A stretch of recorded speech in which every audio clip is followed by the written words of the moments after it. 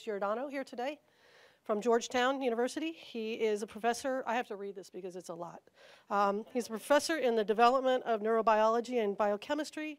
He's a chief of neuroethics studies program and the co-director of the O'Neill Pellegrino program in brain science and the global health law and policy at Georgetown University.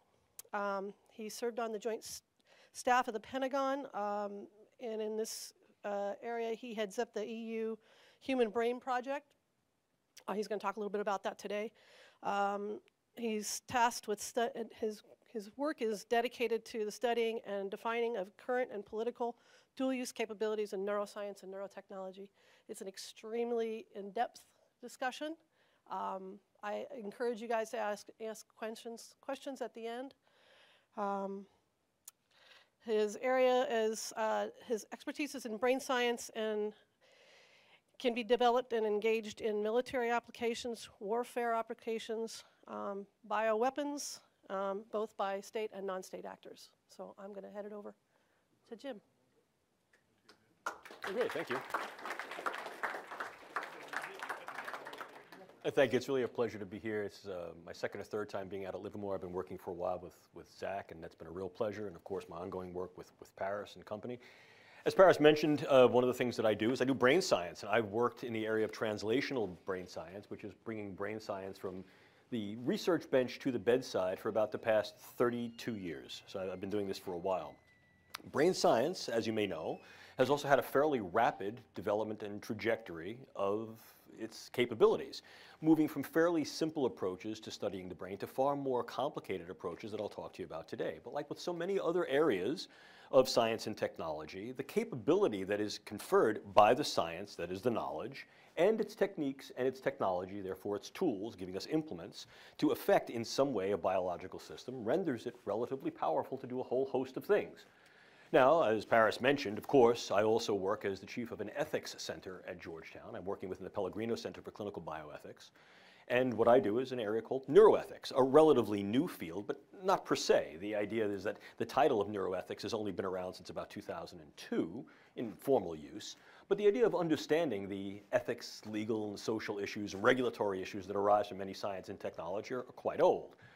What makes neuroethics a bit more interesting and perhaps unique is that the thing that we use as the focus of our study, the brain and those techniques and technologies that go into studying the brain and in some ways affecting the brain, remain relatively unknown to us. I, I, don't care how you twist this. There's really none of us in this room, and I've been a brain scientist for over three decades, who could tell you how the great stuff of cognition, emotion, and even behavior arise in and from that gray stuff of those squirting, squirting cells that exist in your head. We don't know that. I were going to be Aristotelian for a moment and sort of wax philosophically, what I could tell, oh, you enjoyed it, that's good. So I always look for the philosopher in the crowd who gets the Aristotelian gig. The issue is very simple. We don't understand what's called the efficient cause of what the brain does. We know how it works as a basic biological system. We might even speculate, and very realistically, why it's important to a biological system. But do we know how the brain makes, quote, mind? No, we don't. Yet, that doesn't stop us because there's something called the mechanistic paradox, which is although we need to understand the mechanism of how and why something works, we also fall victim to the fact that very often we use what's called satisficing information. In other words, good enough for government work and we'll just proceed on smartly. Moreover, what that also does is raises the intersection of a host of unknowns. If we don't know how the thing that we're affecting works, well, the beauty of it is the tools that we develop help us to understand that. But then we have to revise what we think are the key issues that come from our tool use on that thing. This is not what's called reductio ad absurdum. This is not reductive thinking. It's real. That said, let me take you on a little trip in time into brain sciences, what they really do. Let me move this down here because I'm so short you can't see me over the bottle of water. so this slide, I think, very nicely demonstrates for you a relative 100-year history of the brain sciences, going back to an anatomical diagram that was pioneered right after the advent of anesthesia in the middle of the 1800s to be able to allow direct access to the living brain neurosurgically. Now, what that allowed us to do is to manipulate the structure of the brain, and as a consequence of that, see what artifacts occurred with regard to individuals' thought, emotionality, and behaviors. Of course, we all know the prototypic example being Phineas Gage, the railroad worker who got a tamping iron through his frontal lobes. and as a consequence of that, survived, but as the adage says, Phineas was Phineas no more. So the issue here is that there's something ticking away within your cranium that makes you, you. That renders the brain sciences exceedingly important, not anymore perhaps in certain ways than other areas of the biomedical sciences, but in ways that are both practical and philosophical. In other words, if I'm able to in some way assess and affect this thing that is in at least some way demonstrably and perhaps to a large extent responsible for making you you, your persona, your thoughts, your hopes, your dreams, well, look at the power that that can yield. We like to talk about influencing hearts and minds, but this is a question of influencing brains to influence hearts to then influence minds. Continue to look at the slide. Because what you see is the interesting dance that essentially technology has allowed the brain sciences to advance with. We've gone from these rather rudimentary examples of utilizing these techniques of surgery during the beginning of the last century, the 1900s, to being able to utilize ever more sophisticated anatomical and molecular probes to understand the brain at a variety of ever more nuanced and granular levels, and ultimately to not even have to intervene with the actual structure of the brain, but to be able to assess the brain in real time utilizing convergent forms of neuroimaging coupled to a host of neuroelectrophysiological techniques. Has been very, very important. Because what this allows us to do is essentially something akin to this, both literally and metaphorically, which is to essentially put the brain at our fingertips. This is my brain. I take it out nightly and floss it. With my haircut, it makes it rather easy. But there is something I want you to also understand about this. If you were to do exactly as I'm doing here in this slide, which would be to put your brain in front of you, first of all, the mere size of it, I think, is somewhat interesting to people. We tend to think it's a lot larger. It's not. It fits in the palm of your hands. But now let's wax a little more philosophical but very practical with that same analogy. If this is something that fits in the palm of your hand, every hope, every dream, every thought, every aspiration, everything you love, everything you hate fits in that organ. And if I really wanted to wax philosophical, everything that humanity has ever done and will be is a consequence of that organ's function. Once again, we're talking about power. But let me tell you a little neuroanatomical and neuroscientific adage. We have a saying in the brain sciences see one brain, see one brain. Which means that despite the fact that if I pulled my brain out of my head and his brain out of her, his and her brain out of hers, it would basically look like that with regard to its gross architecture. The devils and deities lie in the details.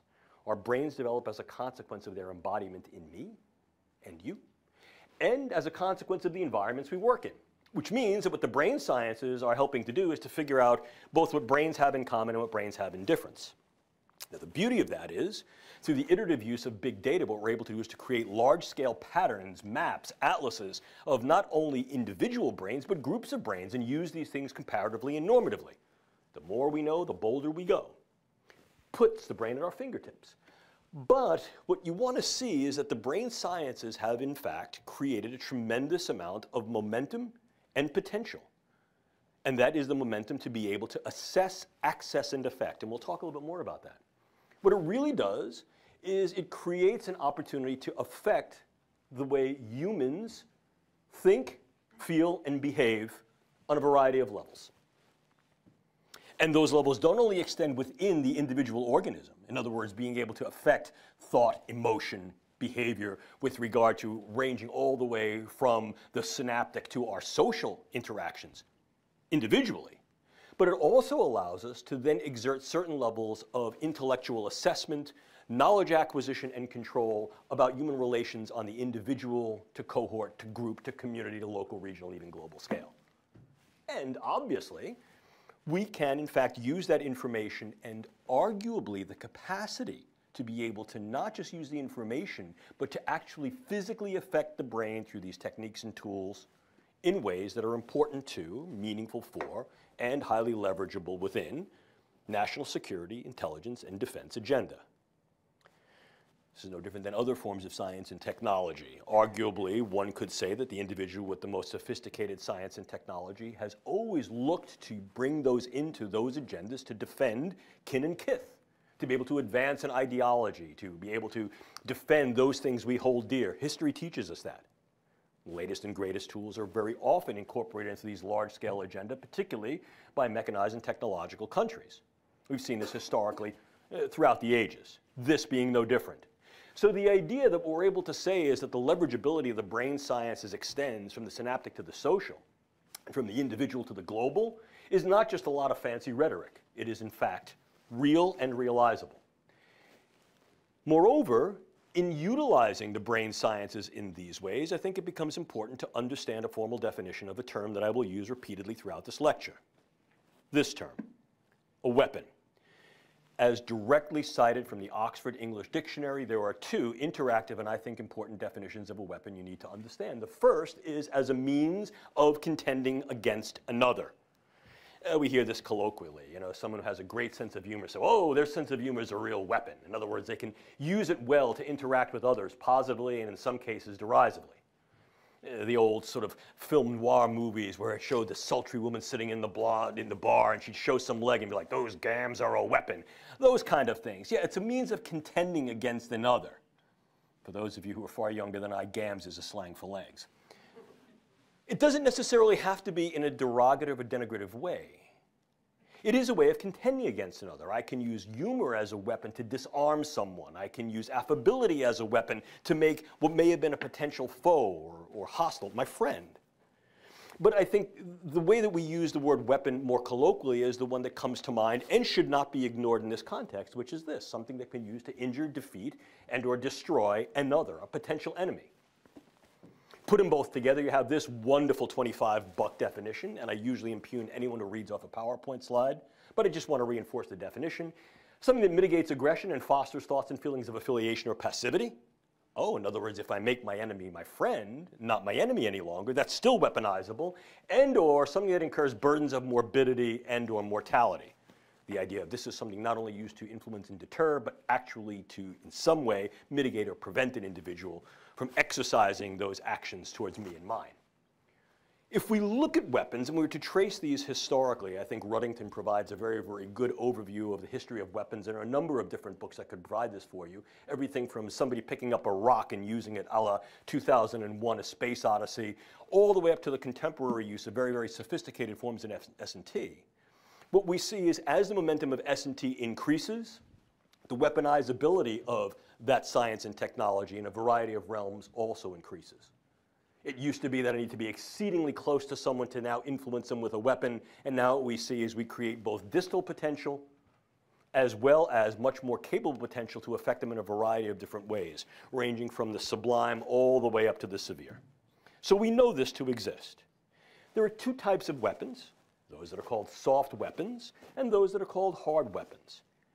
If we now take a look at the brain sciences as weaponizable, a real word by the way, we can see that in fact the brain sciences are weaponizable across both dimensions, soft weaponizability and hard weaponizability.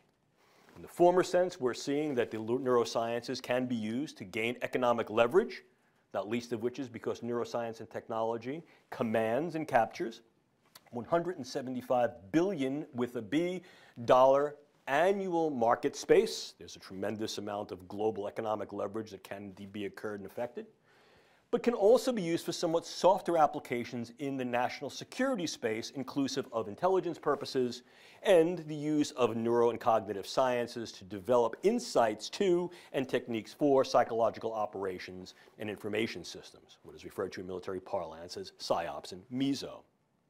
If we now transition that into more hard forms of weaponizability, these are the areas where we're actually looking to exert physical, not just cognitive influence and or deterrence. These are your more classical forms of weaponization where you actually see things like guns, bullets, bombs, etc. But now, when confined to the biological space, we see chemicals such as drugs and other chemical agents, biological, such as the use of various microbes, both bacteria and viruses, and toxins, and increasingly devices, which up until quite recently were not even considered to be in the weaponizable space, and only very recently, with regard to the last review conference of the International Biological Toxins and Weapons Convention last December, did the Australia group raise the possibility that certain devices, namely neurotechnology and hybrid cyborg type devices, which we'll talk about, should be considered within the larger scale of what might be a potential biological. So what we're seeing is we need to cast a broader net as we increase broader and ever more sophisticated capabilities. Still with me? Okay. In fact, what we're doing here is just this. We're targeting the brain. And we're targeting the brain on a variety of levels. Now, like any good target, what I have to be able to do is I need to put the pipper on point. In other words, I need to put this gun sight, so to speak, where I want it to be. Otherwise, what I'm doing is I'm just hosing a target indiscriminately. That's not what I look to do. I don't want buckshot. I want sharp shot. So the first thing that I need to do, as anyone will tell you, is I have to recon my target area quite well so as to be able to acquire viable targets and also to avoid collateral damage. The assessment neurotechnologies do a very good job in doing that with increasing sophistication. They're not used individually, they're used in a way that's called co-registered. I can use forms of neuroimaging, and these are diverse. They run the gamut from the older forms, such as things like computerized tomography and single photon emission tomography, to the much newer forms that utilize a highly specific electromagnetic pulse signal, not only to be able to image certain brain areas, but also to image tracts, uh, communicating networks and nodes within the brain in a directional way in, in rather rapid time. I can utilize neurophysiological recordings such as electroencephalography, and I've dialed in the specificity of that as well through the use of quantitative techniques. I can also look at neurogenomics and neurogenetics, taking a look at genetic profiles of individuals and groups to be able to determine what genes may be in fact coding for certain structures and functions of the brain. I can utilize proteomics and other forms of biomarkers, and I can utilize neurocyber informatics. In other words, I can harness all of these forms of assessments to a big data approach that allow me to make both comparatives and normative indices not only within an individual, but between individuals, not only between individuals, but within and between groups on a variety of scales. So the idea of assessment technology, in many ways, combines each and all of these, and the combinatory power of that is facilitated and fortified through the use of big data. We've written comprehensively about the use of big data as a force multiplier in neuroscience and neuroweaponology, and if you're interested, I'd be happy to provide that to you. But the idea here is like so many other forms of recon and evaluation and assessment, we as humans tend not to turn rocks over just to look what's underside. We turn rocks over so we can use what's under there. The brain is no different. If what I'm doing is I'm trying to put a pipper on target and make sure it's square on point, I want to do something with that. This is not just a let's go see mission. This is a let's go see so that ultimately we can translate this into some viable effect, either of the knowledge or to actually target these things through the use of some technique or technology. Now what we're looking at is the interventional techniques. Do not ignore cyber because power comes from knowledge and information. And if I understand how a brain works and how neurocognitive mechanisms are operative and the various impressions we then gain in our thoughts, emotions that may ultimately feed into behaviors, I can manipulate the type of information and its delivery so as to be able to influence brain state. This is part of the incentive and underlying rationale and methods that were employed in a DARPA program called Narrative Networks that was led by a colleague of mine, Dr. William Casebier. Exactly at doing that. The more we know about the way a brain works, the more we can utilize said information to develop key narratives of psychological and meso operations that are then viable to be able to then be used to influence individual and group brains. We've done this for a long time. This is also referred to incidentally as neuromarketing. And ordinarily, I kind of just kind of shy away from that neuro prefix because people tend to use it literally nonsensically. And in fact, a quick homework assignment for those of you who are students in the room. I never lose my professorial demeanor. For those of you who are students in the room, uh, after the lecture today, sometime maybe over the week or weekend, just go to a magazine store, a bookstore, and pull out a few magazines. They don't even have to be science magazine. They can be like fitness magazines, wine spectator, whiskey advocate. My God, I sound like an alcoholic. Whiskey advocate, shape, Vanity Fair. I guarantee you, I guarantee you that there's going to be some discussion there with a picture of a neural image that says, this is your brain, fill in the blank. Drinking beer. This is your brain in love. This is your brain after a breakup. We like to, to use the brain sciences to sort of import this type of information. And moreover, the idea that we're able to utilize this in a way to understand how brains work to influence various marketing stratagems is becoming ever more the norm. I have a colleague of mine who makes big six figures working for a marketing firm to be able to intuit these types of studies, bringing people into a scanner and seeing what they respond to, and then developing verbiage and image to be able to do just that. That narrative extends beyond the commercial space. It also extends into the defense space. And I refer you to a group of reports that we've been putting out over the past few years through the Strategic Multi-Layer Assessment Group that's headed by a fellow named Doc Kabayan at the Pentagon that looks exactly at that, the neurocognitive dynamics of deterrence. This is still somewhat soft. We still tend to rely more and more on the older forms of get in there and do the job. And now what we're looking at basically are things like drugs, bugs, toxins, and devices. One more time drugs, bugs, toxins, and devices.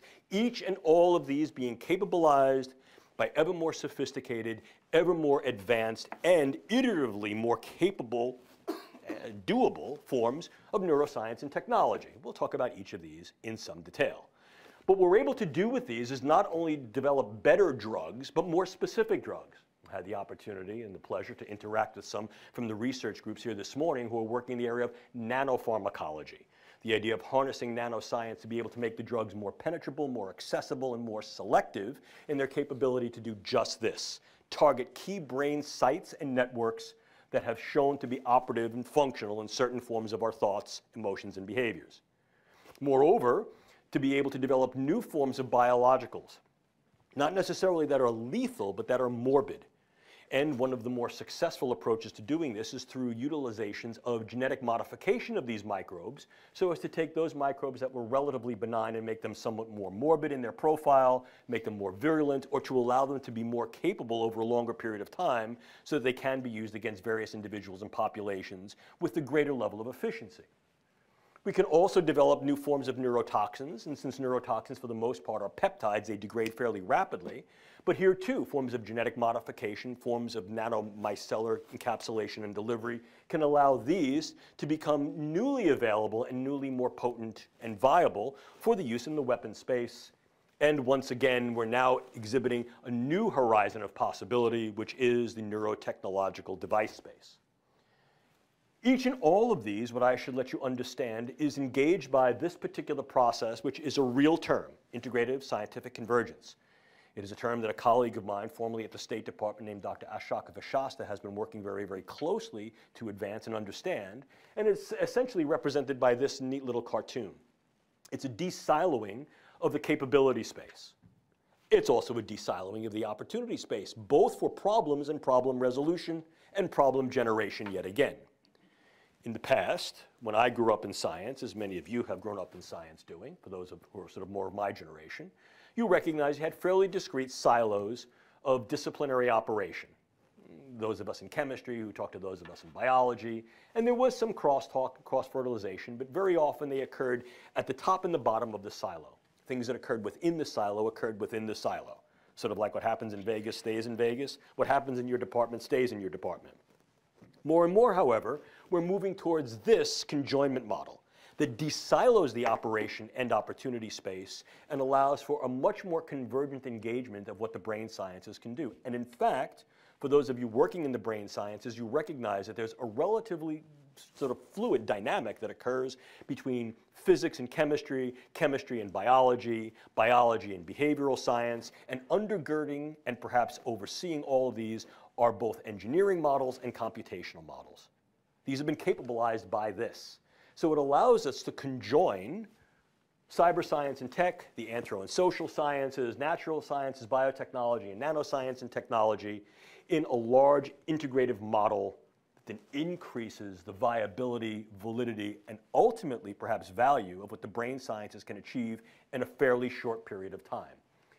And in national security, intelligence, and defense agendas more and more, this type of convergent approach is being harnessed upon assessment, access, and targeting of neurological structure and function so as to be able to get a better insight to and influence of individuals and groups on a whole host of levels. One of the things that makes this work, as I alluded to earlier, is the use of large-scale data banking and data utilization, what's referred to as big data, not to belabor the point to excess or in extremis, understand it is used as a force multiplier. In other words, it takes the forces that are there and it multiplies both their capability and ultimately their value and utility as a consequence of being able to utilize large volume data banks, which then are able to engage, assimilate, synthesize, and pull down in real time individual cohort and populational data tiers, and in so doing allow multiple tier integration, multimodal, multi-level, and then also allow real-time access requirements that can be utilized in practice. In other words, we can use these large-scale data integrators to be able to pull information about him and her and him in a comparative way, in a normative way, and also in a way that allows us to then develop various tools to be able to understand how better to access him and her and him, and all of, as you can tell from my New York accent, use. Now, this has to be scalable in many cases. Check, it is. It has to be customizable. We're still working on that one. It has to be accessible, clearly, because multiple user groups, shareholders and stakeholders have to get to it. And it has to be shareable. There are some issues that go along with that. And for those of you working in the neuroengineering space, this has been a long-standing issue, I would say in some cases, problem, with regard to developing the right types of big data tools and techniques, specifically for large-scale integrative projects, such as those that are being funded by DARPA, subnets, systems-based neurotechnology for emerging therapies, RAM, restoring active memory, haptics, et cetera. Multi, multi, multi levels of different types of data coming from different types of engineering and science that have to be pulled together to make a cogent picture. But we're doing that. We're moving in those directions. And in some cases, you also want to anonymize or de-anonymize these data, and there are some security issues that you would imagine go along with that. But the other issue that goes along with this is that at least on the research to translation side of the house, you see these increasing needs for what we call security. And I mean real security. You want these things to be secure in terms of their use because I'm providing a lot of information about the you-ness of you. Perhaps your lifelong history, your medical records, things about your brain, what they infer. And the nature of these systems is that you have to stack different types of data platforms and use platforms. And although I am not particularly a cyber technology mogul, my colleagues who are tell me that if something is stackable, it's hackable. I tell you from my own experience, what I am is a longtime judo player and wrestler. And I know if you want to knock somebody down, even the biggest guy goes down at the weak points, and that's their joints. And this is no different. And so the issue here is yes, we need this tool. We're developing this tool. We see the viability and value of this tool. But we also recognize the vulnerability of this tool, as do others. Key point. Which means that as we're beginning to look at the potential weaponization, weaponizability of neuroscience, we also have to recognize the vulnerability of the tools we're developing to make it work. Those are not only our own vulnerabilities, but those are the vulnerabilities of those other groups that may be engaged in this. But now let's move a little bit more into the more direct applications of viable neuroscience and technology with regard to battlescape use, battlescape applications. I've given lectures over the past couple of years and written chapters that have directly attributed the brain as the next battlescape, and I truly believe that, as do a number of my other colleagues. I'm not alone in that belief. The idea of developing a much more punctate and much more clear definition of what dual use constitutes and recognizing that this is in fact a very usable domain of the brain sciences, I think is a reality we must face. So much so that let me give you a little bit of history as an aside, not, not to bore you.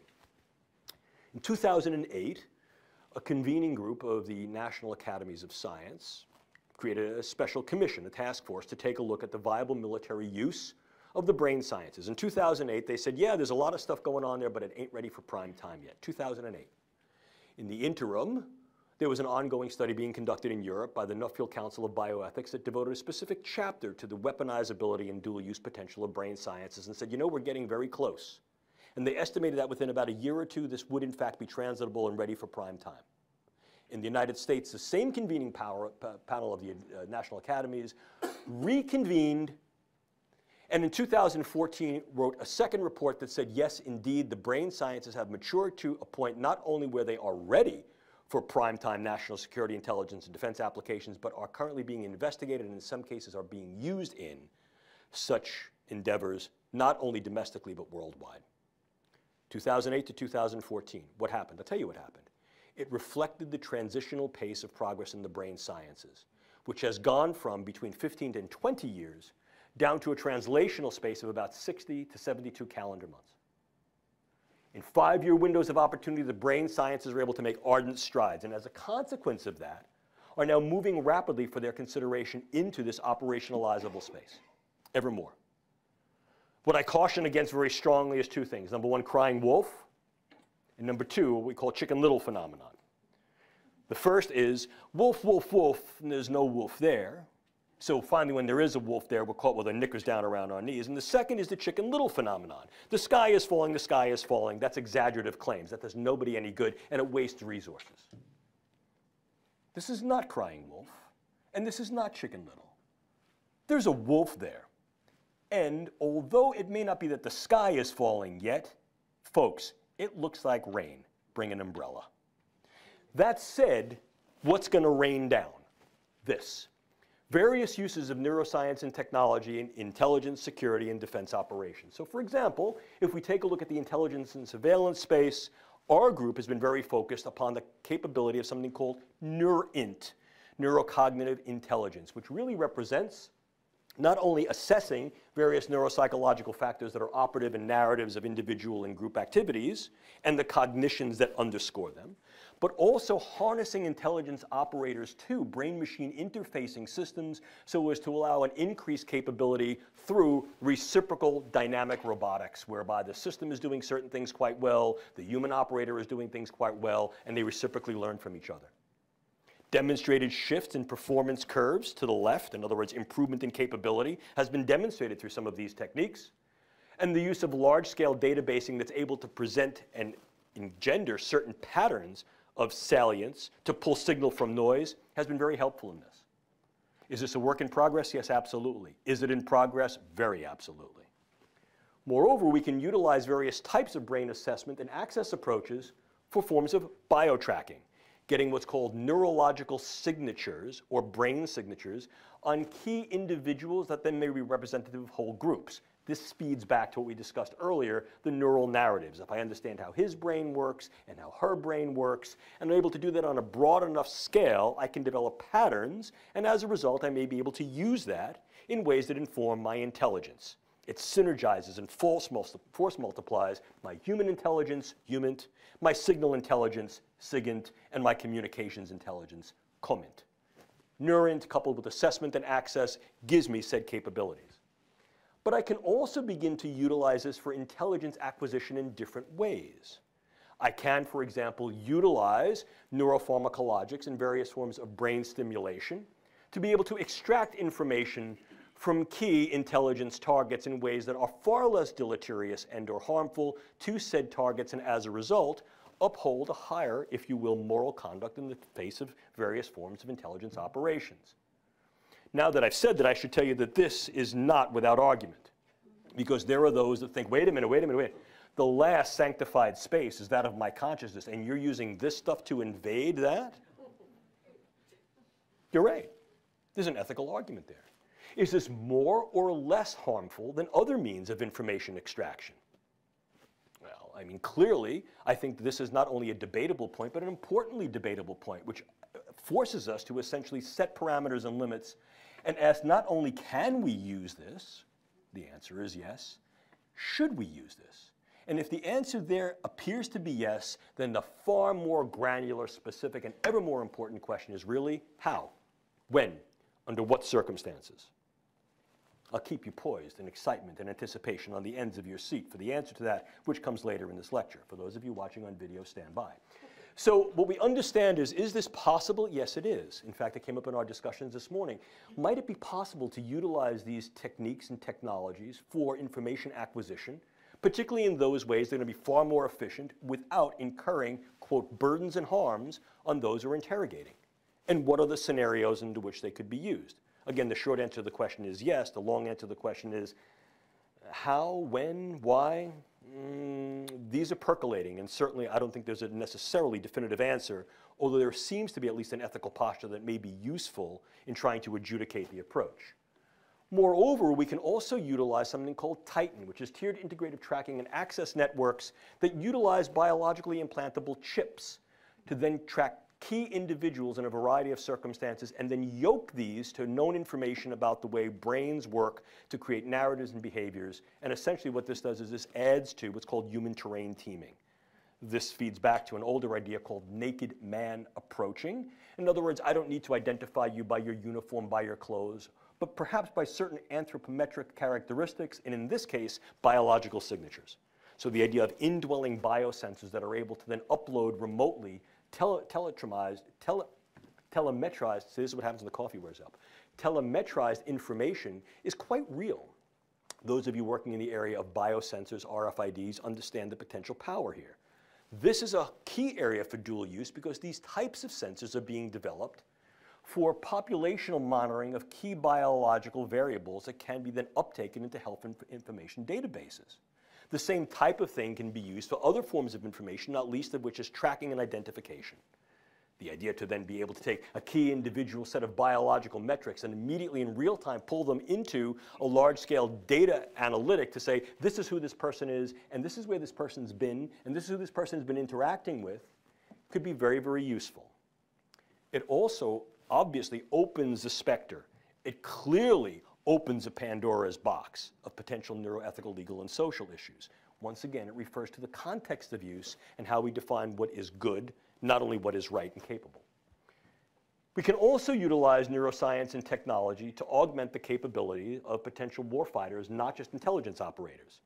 This sort of gets into some of the discourse that had been bantered around previously in the field with regard to, quote, super soldiers, and what we're able to do with regard to capabilizing functions of the brain to then increase our cognition, our emotions, and our behaviors in a variety of warfighting type tasks. Can you do this? Well, this is the area of neuroenablement. Yes, of course you can within certain parameters. And like so many other things, it's less than ideal and less than complete. But can we target key neurological substrates, change the function of those substrates, and in so doing, approach various trajectories of improving individuals' cognitive skills on key tasks, emotional capabilities in the key circumstances, and behaviors and actions and key performance parameters? Yes, we can. Are there limits? Are there constraints? Yes, absolutely. How can we do this? Well, I think one of the easiest ways, although not necessarily the most effective, is through the use of advanced neuropharmacological agents. And there are a host of them. Certainly, we hear a lot of the discourse about performance enhancing drugs, not only in terms of the military, but for a variety of, of other uses, inclusive the civilian side of the house, where people are looking to take a variety of drugs stimulants, eugeroics, uh, vigilants, uh, anti sedative drugs to be able to then increase their capability to study, to function, to be better at work, cognitive enhancers. Uh, could these be used within military and security intelligence frameworks? Yes, absolutely we could. Could we also use computational brain-machine interfacing? Without a doubt. Could we use closed and open loop brain stimulation approaches, not necessarily through the use of indwelling devices, such as implants, but also perhaps through the use of non-invasive brain stimulation, such as transcranial magnetic and electrical stimulation? The answer appears to be yes. The short answer. The long answer is that it is exceedingly context dependent. It's based upon brain state, based upon task, and we have to define what exact parameters of performance we're looking to affect and what changing the function of nerve and brain does to change the relative outcomes with regard to these performances. But that doesn't mean we can't do it. The question is, should we and how? The same is true with regard to neurosensory augmentation. Here I'll speak very specifically to some of the programs you have ongoing. There have been some bioengineering programs here at this laboratory that has looked at the capability to increase visual acumen, if not restore sight, to individuals who've lost their sight. Increase capability to create second and third generation cochlear and auditory implants. These are not limited to the usual range of the human sensorium, but can in fact be used to get increased focus, what's sometimes referred to as eagle eye, or sometimes referred to as bat's ear. So the ability to then extend the sensorium and modify human capability outside what falls within the Gaussian distribution of what is human clearly is capable here and may be paired to other forms of neurological intervention to create open and closed loop brain systems to really expand not only the capacity of the human system within its functional range, but to go beyond that and now have something called exceptional modification. No sci-fi here, folks, only facts. Then we get into the real form of a weapon. And we're talking about a real form of a weapon. Remember, this is a means of contending against another in each and all of these dimensions. Assess and predict their escalations to violence so that we may be able to intervene, perhaps mitigate those.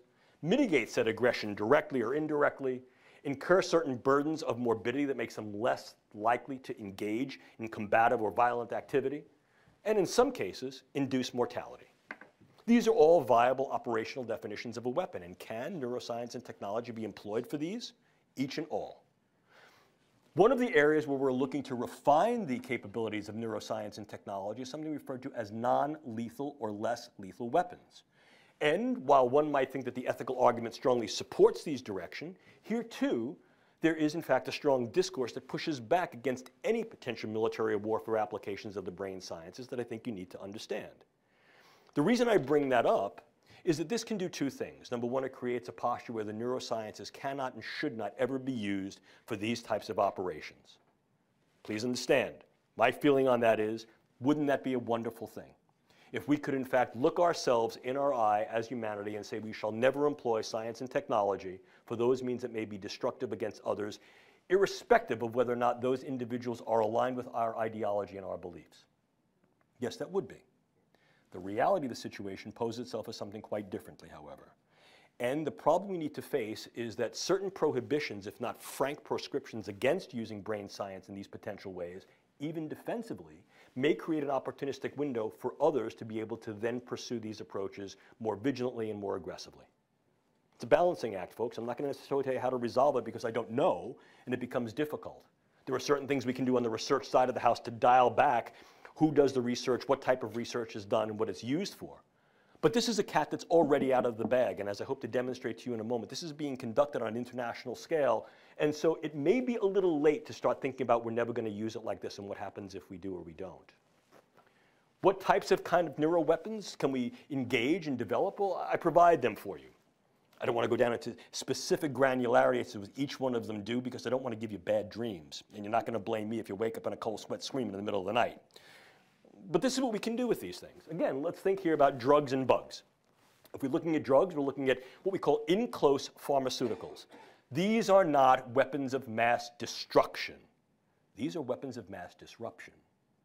What they can be used to do is create particular yet highly selective effects in individuals so that they can be delivered at very, very low doses, yet deliver a high amplification effect that's called a hormetic potential to be able to alter cognitions, emotions, and behaviors. How do you do that? Well, you can work on key operatives. In other words, this individual who's sitting before me may be a diplomat. They are now coming to interact with me. They may have a posture that does not necessarily align with mine. Can I alter their cognition? Can I alter their affiliation? Can I alter their emotionality? And in such a way, might I be able to alter their behavior?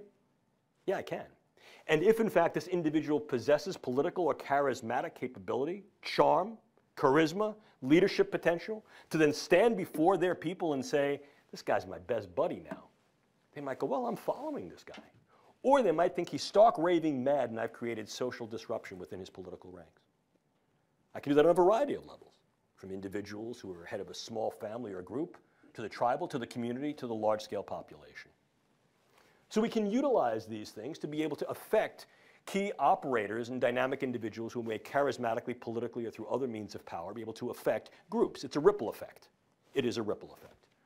Moreover, we can induce a number of neuromicrobiological agents to then incur something called high morbidity. These are not necessarily mortal agents. We can modify the existing palette of bacteria and viruses through the use of gene editing techniques, very viable. This has been some of my ongoing work with my colleague Diane DeEulis at National Defense University. And what we can also do is recognize that there are existing microbiologicals that can be harnessed to then induce the effects. We can also engage certain chemicals that way. What we want here is a morbidity factor, not necessarily a mortality factor. I want to make people sick. And what I do here is the virus is not necessarily the bug. The virus is what I put over the internet. Let me show you how I can crash a system pretty easily. I affect key individuals here, here, and here. And then I take another community in the back of the room. I affect key individuals there. And then I take another community. I affect key individuals there. And then I do what every good attributional group does. I beat my chest and take credit for it. And what I put out over the internet is this is a virus, a bacteria, an agent that I have infiltrated into your fill in the blank. I say it's a weapon of mass destruction. And what I tell you it's going to do is it's going to produce paranoia, anxiety, and sleeplessness. What I've just done is I've recruited every paranoid hypochondriac to think that they have whatever that is. I've used salient and sentinel cases, and I create essentially a legion of what's known as the worried well. They now flood emergency rooms. They flood their clinicians. The CDC responds back and says, no, no, no, there is no such a thing. And I've created a schism of trust between the population and the polis. It's both a short and a long war's effect. Moreover, I can create particular neuromicrobiologicals that may have a much longer duration of action, for example, modified Zika virus. And what I can then do is, as a consequence of that, is I can affect subsequent generations to incur a public health morbidity and mortality effect that then creates an increased economic and perhaps social burden. Long war scenario. If I wanted to do something that's a little bit more proximate, I can utilize nanoparticulate matter. Now, we can utilize nanoscience to create much better drugs, to get them where they got to go in the brain. I can create nanoscience and nanotechnology to be able to escort certain drugs across the proliferant barrier, which is the blood-brain barrier and blood uh, cerebrospinal fluid barrier. So I get these things where they got to go. But I can also utilize nanoparticulate matter in a very indiscriminate way. The idea here is that I can get something called high CNS aggregation material that is essentially invisible to the naked eye and even to most scanners because it is so small that it selectively goes through most levels of filter porosity. These are then inhaled either through the nasal mucosa or absorbed through the oral mucosa. They have high CNS affinity. They clump in the brain or in the vasculature, and they create essentially what looks like a hemorrhagic diathesis, in other words, a hemorrhage predisposition or a clot predisposition in the brain. What I've done is I've created a stroking agent. And it's very, very difficult to gain attribution to do that. I can use that on a variety of levels, from the individual to the group, highly disruptive. And in fact, this is one of the things that has been entertained and examined to some extent by my colleagues in NATO and to those who are working on the use of neurobiological sciences to create populational disruption. Very, very worried about the potential for these nanoparticulate agents to be CNS aggregating agents to cause neural disruption either as hemorrhagic and vascular disruptors or as actual neural network disruptors because they interfere with the network properties of various neural nodes and systems within the brain. Then I get to the area of devices. And uh, this, in many ways, is going to be less than definitive. The reason for this is this is highly evolving and I think is limited only in certain cases by context of imagination. What are the devices? Well, I have them here for you here. You have neurosensory mobilizing agents. And to some extent, some of these have already been used. Uh, things like high output sensory stimulators that can be administered from unmanned vehicles, drones, insect borne, or uh, larger scale, macro scale vehicles such as tanks, cars, etc. These are sensory mobilizing agents that use high electromagnetic pulse energy that may also utilize high levels of sound, high levels of, of light energy, and they disrupt neurological sensory function. Already being used, now they're being developed with higher specificity. The idea of intracranial pulse stimulators take this one step further. Now the idea is to utilize direct electromagnetic pulses to be able to disrupt neural network aggregation. There have been some animal studies that have been done that look at the viability of electromagnetic pulses across various distances to essentially disrupt the network properties of the brain and create confusional models. So these are both individual and group disruptors. You also have the idea of the altered reality tactics that is primarily used in irregular warfare. And here, once again, when we understand the, the construct of the way neural networks operate, they operate by key controller and influencing nodes that interact with other neural networks within the brain electrochemically.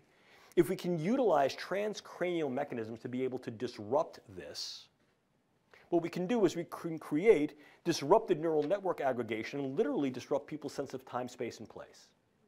And there have been a number of experiments that have examined this, more in the medical context of looking at how we can try to control epilepsy. And we do recognize that these things are viable, although they have not yet been translated directly into operational use. But they have been entertained for certain forms of special operations and irregular warfare, and so they're on the palette of possibility, although not near-term probability. Yeah. If we go one step further, I think it becomes important for us to also understand that we can utilize devices slightly differently.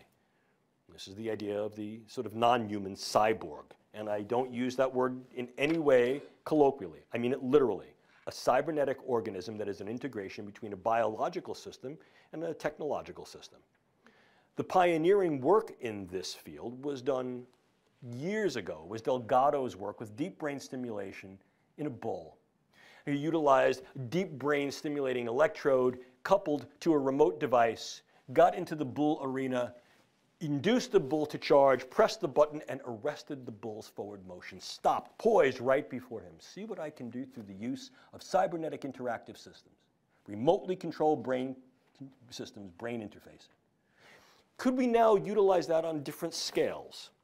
Well, we're not talking about dropping electrodes into people's heads, despite what people will say. This is not a large scale program to infiltrate the population with indwelling electrodes. With all due respect to Elon Musk, I think the actual translation of that into a broad scale event within the population, as it very, very least speaks of the fantasy, if not fictional, and I think in many cases very, very difficult to translate. Will key individuals get certain implants? Yes, I believe they will. Will key individuals also be able to get the benefits of translational neurosurgery that decrease some of the risks and burdens? Yes, they will. Will this be widely seen as a mechanism of individual and crowd control? No, it will not, at least not in the immediate future. But what has gone from the drawing board to the reality is this the use of neural interfacing and physiological interfacing through the idea of remote controlled small scale systems to be able to modify the behavior of non human animals on a variety of scales small mammals, and increasingly the use of insects. The pioneering work was done by DARPA, something called the DARPA beetle or the DARPA fly. And more recently, an independent, non DARPA funded commercial enterprise calls itself Dragonfly, has been able to utilize a combined set of techniques, both direct neural stimulation through the use of what we call macro technology and optogenetic control of key neuron firing patterns to be able to direct the wing beats and pulses, and as a consequence, directionality of a dragonfly. And characteristically, an insect of about that big works quite well because it can not only carry this particular payload, which is very, very light, and now does not have the burden of the prior DARPA Beetle that needed a battery. This utilizes a solar rechargeable source, so it is infinitely powerable, but must also be able to bear the burden of now these very, very small scale, and in some cases, they're looking to the high level nano or, or, or at least low level micro scale use of various electrodes that can then both record and perhaps deliver certain types of payloads as well. So the idea of now going back to these very, very low dose nanopharmaceutical delivery of toxins or other chemicals and utilizing this as a controlled vector becomes a real possibility. Note, this has not been directly addressed nor has it been entertained by any United States government entity in a public forum. This is not what DARPA has intended this device to be. This is supposed to be a surveillance device that could be used for public health and also to monitor key environmental factors. And the same is being touted here, that this is not a device that is weaponizable. The reason I tell you about it is that this was a point of considerable debate and discourse at the recent meeting of the European Union Human Brain Project Subcommittee on Dual Use. And I stood before these people and said to them, you know, this is not being entertained in these ways. And the response there was, yes, but it should.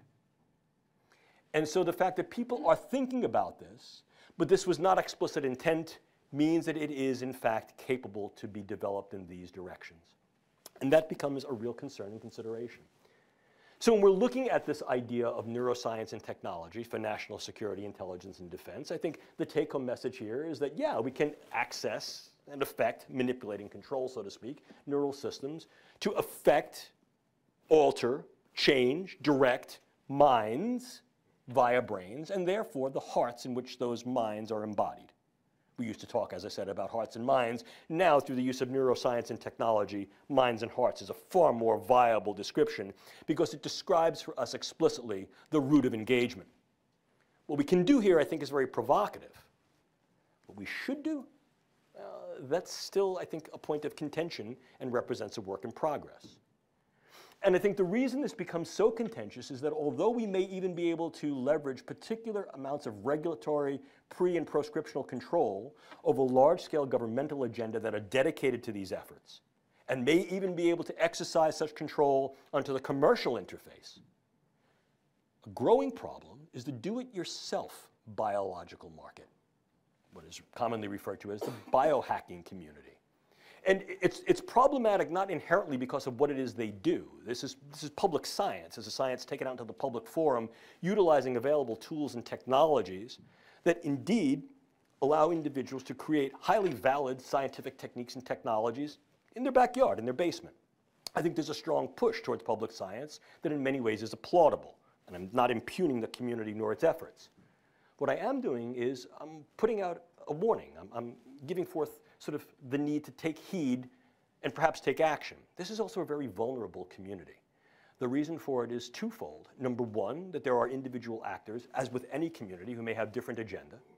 And those agenda may not necessarily be, for what we consider to be always benevolent, wanting to do good purposes. Or let's face it, it could be wholly benevolent, but my good is not yours. And as a consequence, the ideology, purpose, and intent of what I seek to do may not necessarily be consistent with what you seek to do. Moreover, the level of financial base that would allow certain distinctions and certain integrities of control and safety may not be present in all of these operations. And as a result, accidental contamination, accidental spill out of one silo into the public silo may be burdensome, risky, or harmful to the public health. And then, of course, there is the relative corruptibility and diversion of that community by key individuals who may be susceptible to venture capitalists or other state or even non-state actors that have very, very discrete agenda, not all of them necessarily benevolent, or not all of them aligned with the key interests of here in the United States or some other country.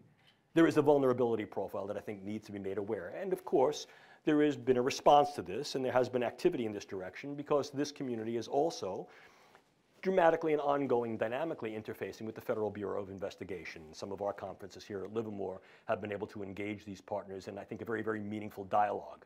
And I urge, and I urge this in a public forum, that this dialogue should continue, not in a suspicious way, but in a way that protects the individuals who are operating in the do-it-yourself biology community from their relative purloinment and also recognizes that there are potential threats to not only that community, but the community at large, and as a consequence, national security and defense.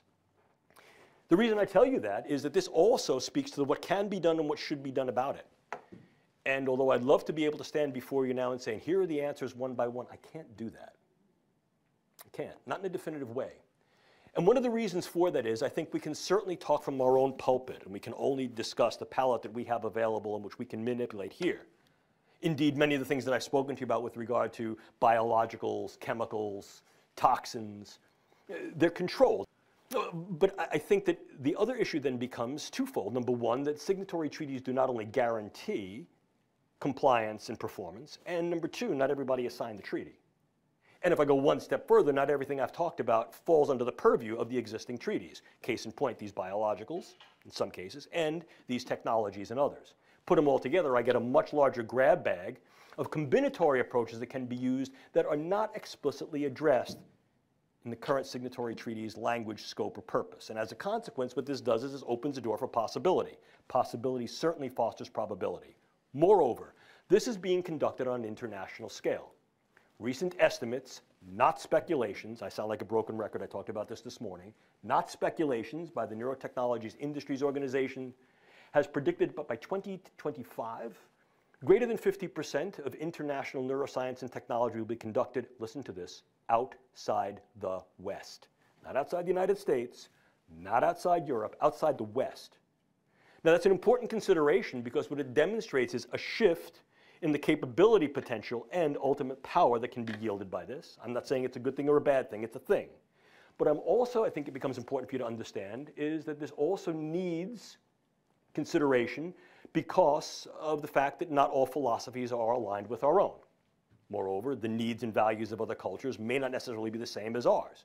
And they have every right in the world to be able to engage that cosmopolitan viewpoint. In other words, certain cultures have different philosophies that then acknowledge different needs and different values in distinct ways. And if in fact we recognize this, it demands a larger discourse, one that brings together international partners in a cooperative way to be able to both pulse the field and in some cases policy the field. And that's critical.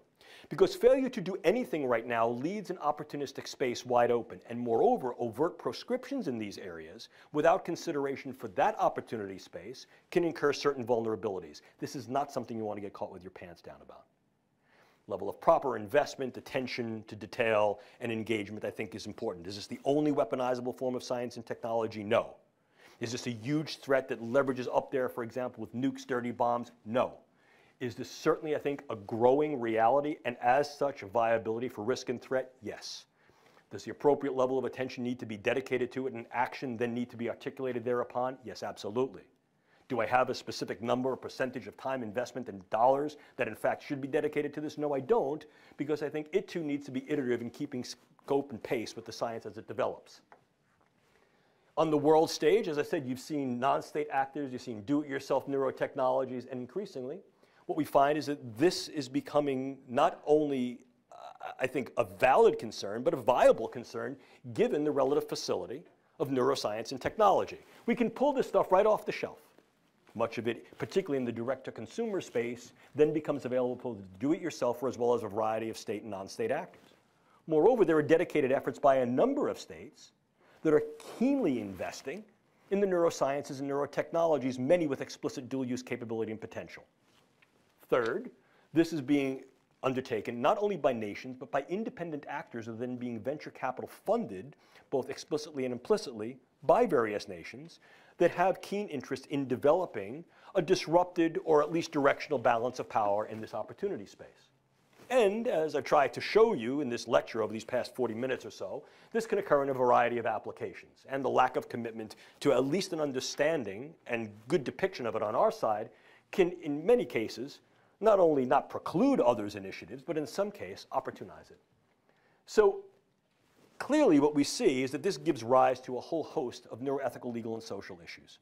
I'll not bore you with these in detail, but I think we can parse those into those that are focal to the technology, intersection of unknowns, their capabilities and limitations, and runaway effects, not only of the science and technology itself, but runaway effects of individuals who recognize its power and then take this into trajectories that we ordinarily would not assume would be engaged, because we may think there are limits and proscriptions. The idea that, well, we won't go there doesn't mean that someone else won't. Furthermore, I think that there are some ethical legal issues that need to be raised, not only with regard to what we're doing with the science, but what can be done with it. The inviolability of mind and self, what we talked about earlier. Could we use these for interrogation? Could we use these in warfare? Yes, we could. Should we? Mm. But we could argue, well, less harm is going to be incurred. But really, what are the harms once we get into the relative inviolability of the brain space, the last private domain, if you will? Oh, yes, I know the counter argument says we do that already, and perhaps that's valid. But I think developing that discourse in a very, very realistic way at the level of granularity that's necessary will be important to each and every step forward. Moreover, if in fact what we're looking to do is to be able to gain broad base of information and be able to pulse that information through relative discrepancies and ultimately transgressions, we then get into arguments about what constitutes privacy, what constitutes protection, what is mitigation, what is manipulation, and then how do we entertain these things on the world stage. And if we're looking to say, well, we understand that perhaps we need to go in this direction, as many have argued, well, what ethics are we going to use? Some form of civilian ethics that's operative, for example, for the life sciences and medicine, perhaps, and that may be viable in research, but in translating research to operations, what do we use then? The idea of justification both in and for war, a just war and just conduct under war? Or perhaps we need to explore yet another ethical principle that was also very well ex explicated under the Augustinian maxim, which is the idea of jus contra bellum, which essentially means justification of use to prevent war. But how far do you go? To what extent? What represents benefit? What represents burden? What represents harm?